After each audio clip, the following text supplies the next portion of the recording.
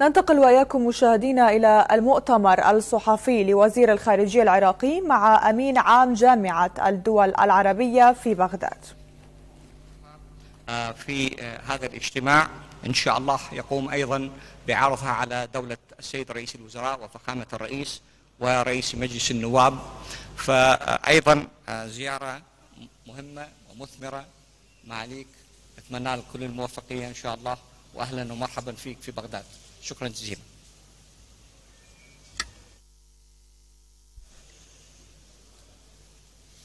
شكرا شكرا سيادة الوزير وشكرا على الدعوة الكريمة لأنه حضوري إلى إلى بغداد هو بناء على دعوة من سيادتكم وفي نفس الوقت لي مثلما قلتم للتحضير للاجتماع الوزاري العربي القادم للجامعة العربية يوم 10 سبتمبر الحالي.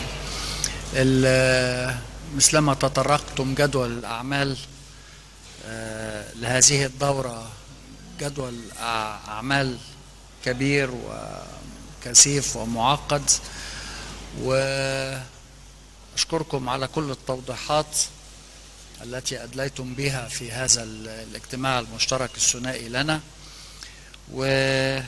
وتمنياتي لكم وأثق أن خبرتكم وقدرتكم على هذه الإدارة الرشيدة لأعمال هذا الاجتماع سوف تثمر عن نجاح وانفراج للكثير من الأوضاع.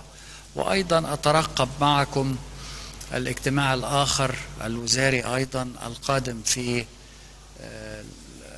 نيويورك في الجمعية العامة لأنه هذا يدعم أيضا المواقف العربية في كيفية تناول جدول أعمال الجمعية العامة والتنسيق العربي العربي تجاه الأطراف الأخرى في إطار الجامعة العربية.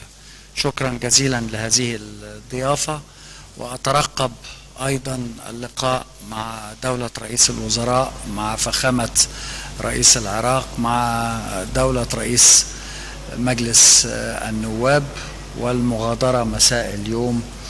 انتظارا لمجيئكم إلى القاهرة في خلال أيام قليلة. شكرا جزيلا.